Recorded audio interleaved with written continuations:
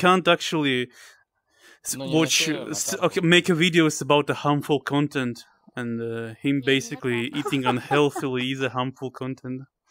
Здорово, Мы в котик. чате же один Oh, shame. Нет. I still love Yeah. the clip of fucking Umperville interviewing him. He's like, "Do you play video games? You like a Genshin Impact enjoyer?" He's like, Ты like. I, I fucking love that video so much. I like I like I love a video when he's like when they trebuchet his uh, wheelchair. yeah. He's like in the pond.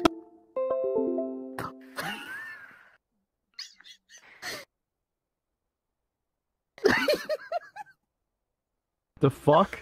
that was yeah, that was so. Fu- yeah, yeah, yeah, It was like, no, just. that's a highlight no, no, you didn't. You didn't hear yourself. Like you went no, and then your headset like cut out. So you went Cool. no, and then you just fucking fell on the ground.